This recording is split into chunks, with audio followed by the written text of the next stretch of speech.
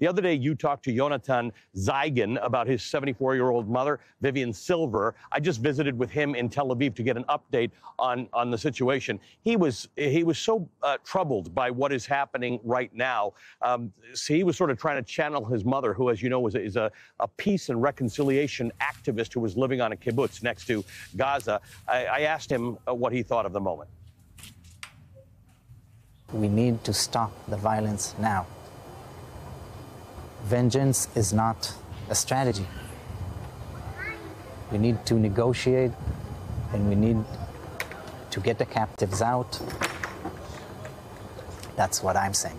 I call on, on everybody, on the Israeli government, on Hamas, and Canada, everybody to put pressure on both sides to negotiate and to, to get the captives out his mother, a 74 year old woman who lived in a kibbutz on the border of, uh, of Gaza, was a peace activist. Her, her entire life was devoted to not just peace in the abstract, but reconciliation with Palestinians. Uh, one of the problems of Gaza is healthcare is not particularly good there for various reasons. They're blockaded and always have been from getting certain equipment. So if you've got cancer, you have to leave Gaza to get that treatment. She was one of those people who meets you on the Israeli side to take you for that treatment. I asked him what he knew, uh, what the latest was was this morning on the condition or, or the status of his mother? The only thing I know for a fact is that her body isn't in the house. Uh, other than that, we do have indications, rumors, we have strong assumptions that she is being held in Gaza. But I'm careful because I don't really know. I, I asked him uh, what he wants uh, what he wants the world to know about his mother. I want to tell her I miss her, how much she means to me, to my kids, and to so, so many people all over the world, and that we're waiting for her. How are your kids? They keep their childhood intact. It's not a really healthy home right now because their parents are preoccupied.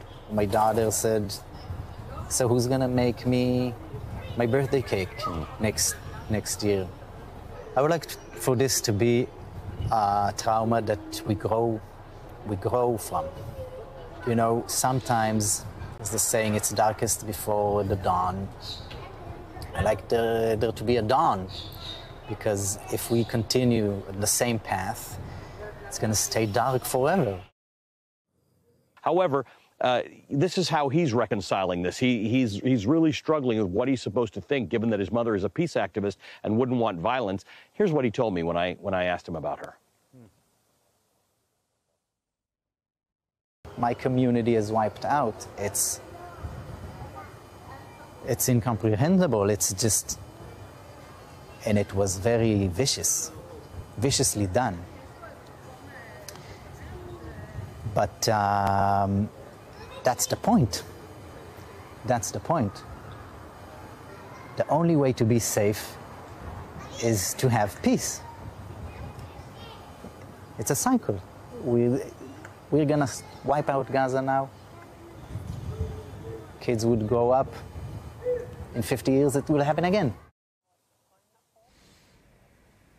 He was channeling what, you know, I was asking him what his mother uh, might have said if I were interviewing mm. her instead of him. So it's it's complex here. It, it, from afar, you know, it may feel that it's simple, but but here on the ground, even for Israelis who are grieving and fearful and very, very worried, it's a range well, of emotions and complexity.